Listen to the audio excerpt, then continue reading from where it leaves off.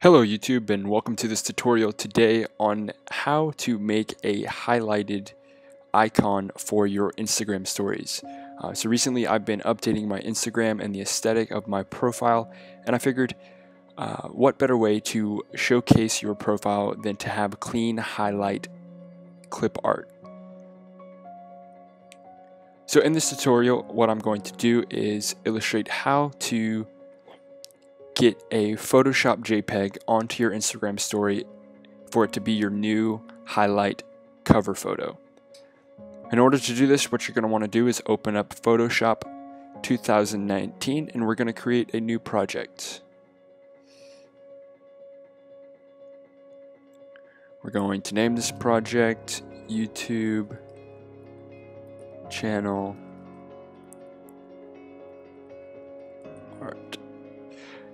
What you're going to want to do is make the size of your project 9 by 16. You shouldn't have to change the orientation or anything else and we're going to create.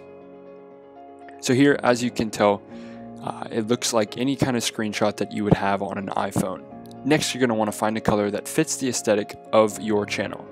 Uh, so my channel is more of a uh, nature outgoing channel. So I'm going to find a green um, color. What you'll want to do is just go to Google and type in green.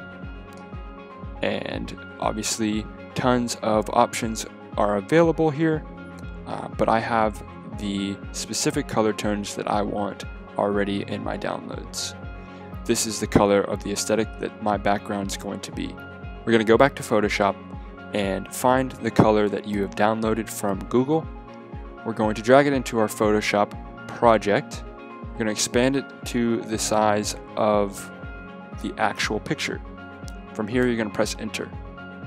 I always like to save my images uh, as soon as I do anything. So I've already created a um, folder called Instagram Stories, and I'm just going to go ahead and save the PSD as YouTube channel art.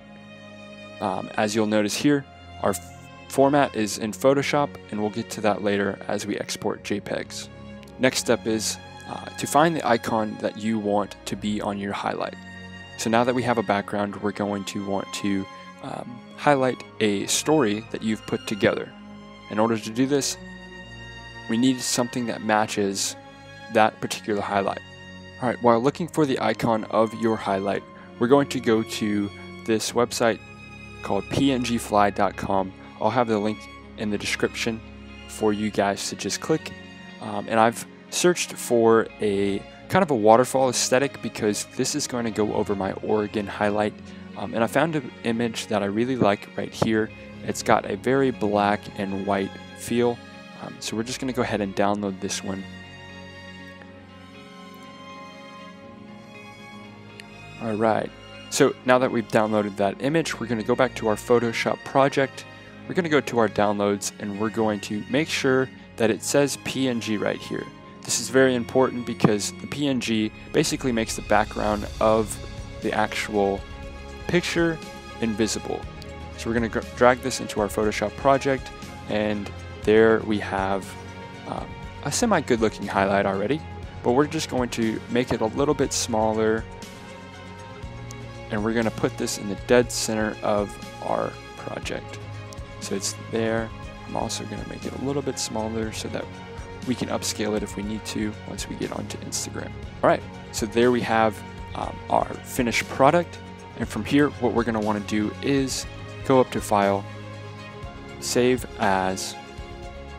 In our format, we're going to make sure that it says JPEG. From here, we're going to do Instagram story. I'm just going to label it dot one for the sake of organization. We're going to save it.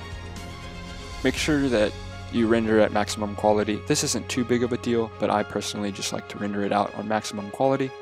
Um, and now that our project is finished, we're going to go to that specific project, which I have saved on my desktop in Instagram stories. So here we have our finished product. What I'm going to do from here is I'm going to airdrop this to my iPhone. And now that it's on my iPhone, I will have a screen grab of what to do next on Instagram. All right, now that we're on Instagram, what we're gonna do is go to our home screen. We're gonna swipe to the left and um, go to your camera roll. What we're gonna do here is we're going to click on the highlight that we've created in our Photoshop project file. We're going to uh, put it onto our story. After we've put it on our story, what we're gonna do is, now that we have it, we're going to click this little highlight button here in the bottom right of the screen. We're going to scroll over to the specific highlight that you want it to be the new cover photo for.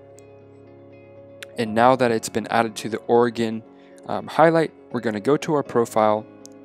It should be our most recent highlight because it's the most recent one that we've edited. And I'm going to click on it. We're going to edit the highlight. And we're going to, at the top, we're going to click on edit cover.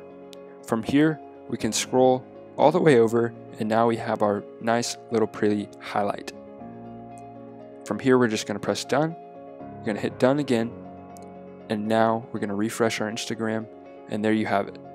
We have a very nice aesthetically pleasing highlight for our Instagram profile page. If you guys have any questions, please don't hesitate to uh, ask them down in the comments below.